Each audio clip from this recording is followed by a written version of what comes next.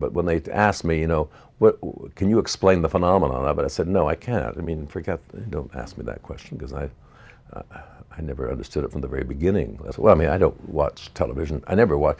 I'm not being snooty about television. I just don't have time. Uh, there's some good things, and there's nothing wrong with the boob tube. It's just as, is, as, as marvelous. Sometimes I've been as moved by the screen, television screen, as I have by proscenium arches uh, or, or, or a silver screen in the theater or whatever they call them nowadays.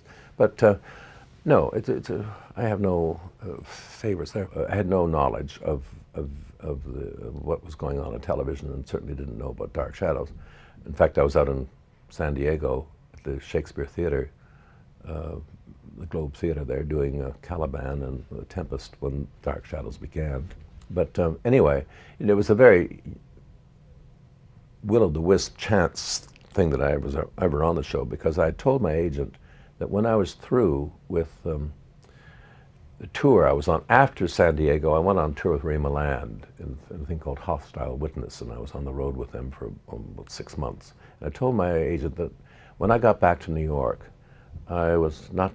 I was going to go out to the coast and pick up where I left off at Yale and become a professor. And I had made all kinds of of uh, preparations for getting jobs out there with resumes and visiting various colleges. That summer I was out on the West Coast. So I said, and I don't know when I'm going to be back in town because I'm going to stay in Florida after the tour ends, and uh, I'll just be back. And but so forget me. Well, anyway, to make a long story short, after the tour finished, I did stay for a few weeks in Florida. Came back, got to my apartment, heard the phone ringing, inside, dropped the bags, went in to uh, answer the call, the phone, and it was my agent. And I said, George, this is incredible. I mean, here I just came in the door, and, uh, and I said, what, is, what are you calling about? He said, well, there's a possibility of, of you doing something. I said, George, I told you that I wasn't going to call you when I got back.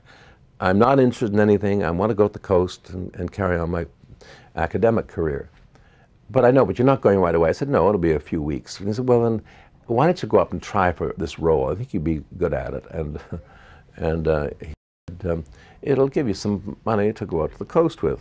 You know, I can always use a buck, extra buck, you know, so that kind of got me. And I said, what is it? And he said, well, it's a soap opera. I said, okay, what is it called? Dark Shadows. And I said, what do they want me to do? A vampire. I said, oh, God, wouldn't you know? So I said, I said, okay, I'll, I'll go up, and and uh, just to please you, I'll go up and and. Uh, well, of course, I got it because I wasn't, I didn't want it particularly, and I'll never forget being in Dan. Dan, by the way, was in Europe at the time. He did not cast me. It was his concept to do this vampire thing, but he he was not in New York at the time. It was held up with some movie he was doing with uh, over in Europe, and um, so his associate producer and the writers were the ones that cast me, in fact. I remember going to the office and seeing all these cadavers sitting around, you know, that were also up at the last for the part. And, but when I realized that I out cadavered them all, it wasn't exactly too heartening. But anyway, um, uh, I got the thing, and well, then the rest is history. But I mean, if I hadn't been at the door at that moment, if a traffic light had stopped the cab that was taking me from the airport back to my apartment, had got stopped by a traffic light or something, uh, I certainly wasn't going to call him. He wasn't going to call me again. He just called us on a chance I'd be back, and it was that close. So, of course, that's the story of every actor's life, and probably the story of every human's life, uh, although we don't know it because we don't know what we've missed. But I, I came so close to missing something, for better or for worse, in my life.